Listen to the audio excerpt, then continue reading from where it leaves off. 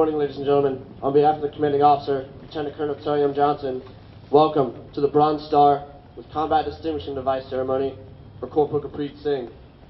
Please rise for the invocation by the Regimental Chaplain, Commander Mark S. Windward, Chaplain Corps, United States Navy. Thank you. Please be seated.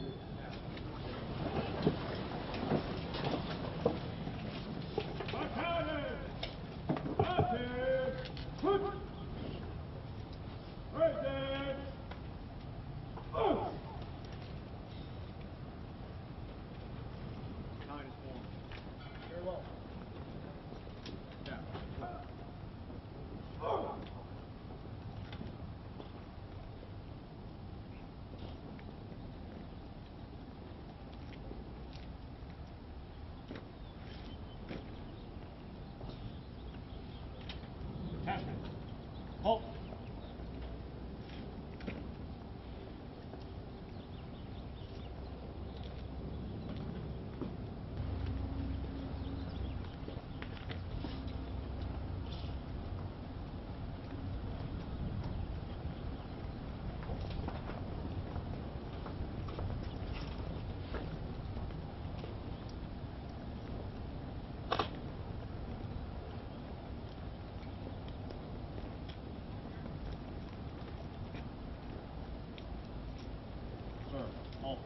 Decorated and colors present. Very well, present to command. Aye, sir.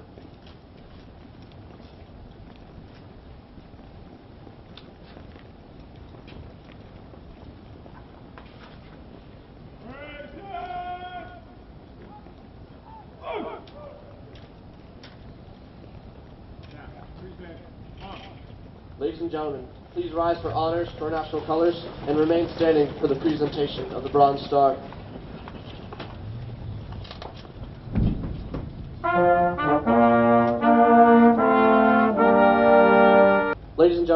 Please be seated.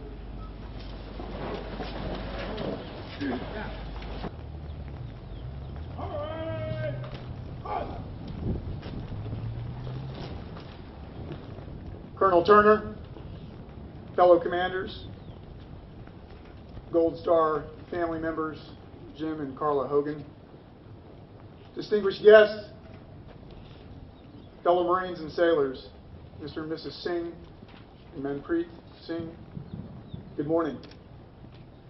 Sat Sri Akal.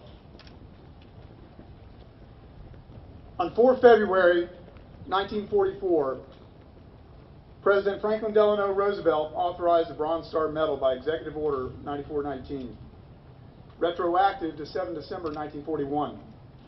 This decoration was conceived and ultimately brought into being with the infantrymen in mind. A decoration for those ground forces whom, unlike their often higher profile aviation brothers for whom the Air Medal had already been designed, were experiencing what was universally acknowledged as the severest of hardships on the ground, and particularly at the company level and below.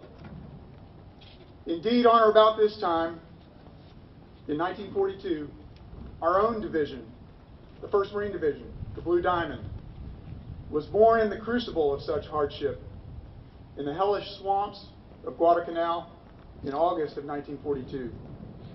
Faceless men bearing the weight of the nation's war in the Pacific.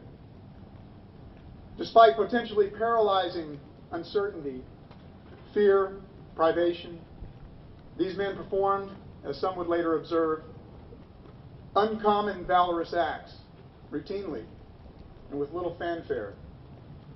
It was for these men that such an award was designed.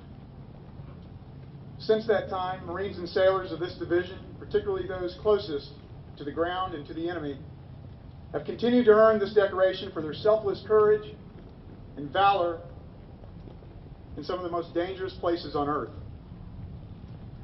Today, the Bronze Star Medal with Combat Distinguishing V device is the nation's fourth highest decoration for valor.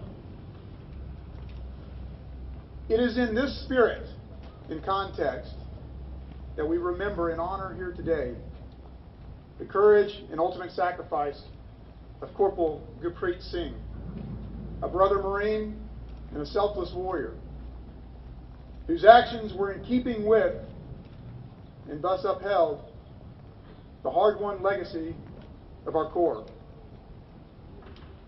Corporal Singh's story is not an unfamiliar one. A young man from a very diverse background who nonetheless found something truly unique in the Marine Corps and was moved to extraordinary heights because of it.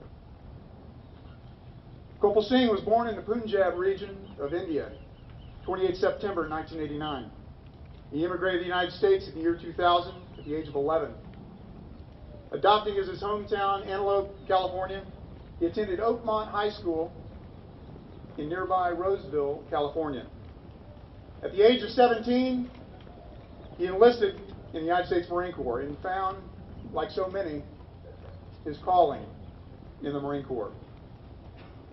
Having deployed with the battalion on its first combat tour to Afghanistan in Nawa District, Helmand Province, in the year 2009, Corporal Singh returned a relatively senior NCO and was not slated to deploy again with the battalion at the end of his uh, active service, or EAS. EAS was approaching.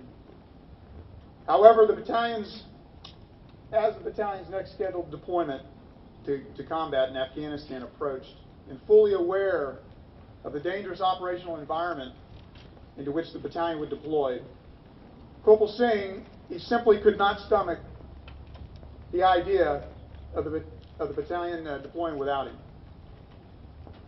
To him, being with his Marines, and particularly as they continued to grapple with the complex mission in Afghanistan, a mission that he had started, but due to its nature, was yet unfinished.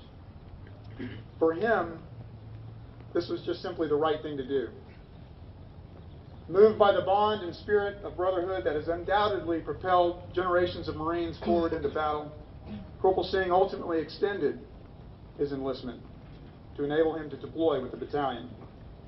By the summer of 2011, Corporal Singh was, just like his Guadalcanal forebears, bearing the load once again on the forward edge of a battlefield to which the nation had committed its Marines. This time it was Sangin District, Helmand Province, Afghanistan. Serving as a team leader, 3rd Platoon, Bravo Company, 1st Battalion, 5th Marines, Corporal Singh led his men with courage and selfless commitment to the mission. As recounted by those who knew him, Corporal Singh never complained. He just simply did what was asked of him. For others, it was his seemingly incongruent, quiet, and polite demeanor that they will remember.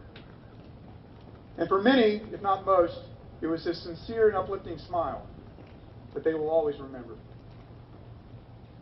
And so it was with a happy heart, I am certain, that Corporal Singh found himself in Afghanistan on 22 June 2011, alongside his brothers.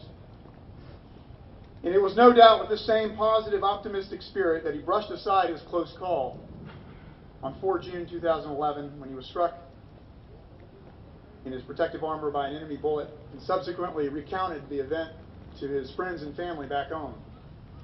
And certainly, it was the same spirit of determination, a determination born of a Marine's foremost concern in combat to not let his fellow Marines down. That gave him the courage to aggressively lead his Marines when he was ultimately struck down by the enemy on 22 June 2011, giving the last full measure of devotion.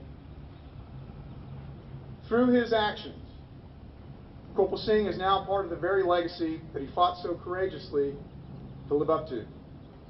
No higher compliment can be paid to a Marine than to say that he did his duty, that he was indeed faithful to his men and to the mission. So on behalf of the Marines and sailors of 1-5, and indeed a grateful service and nation, let me say to the family of Corporal Singh that which I cannot now convey to the Marine in person. Well done. Well done, Marine.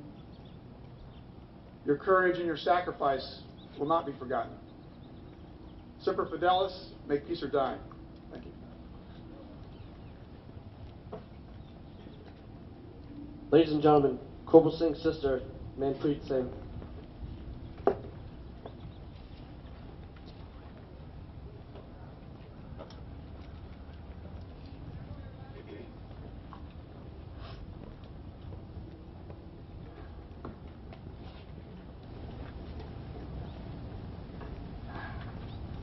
Bear me. I'm trying not to get emotional.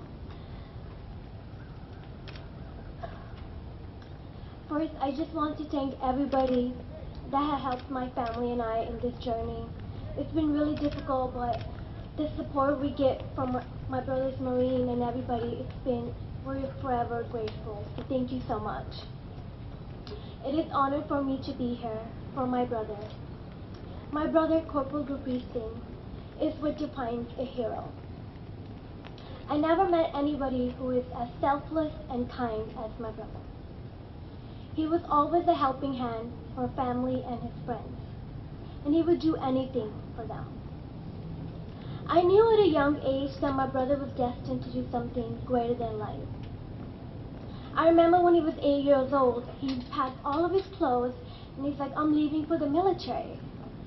And he said to me, I'm leaving now and I'll see you when I'm grown. And I looked at him and I got so sad because I believed he really was going for boot camp. I'm like, oh, you can really join the military when you're eight? He's like, yeah. So next thing I know, he was just like my uncle's house, you know, because he was mad at my parents. And then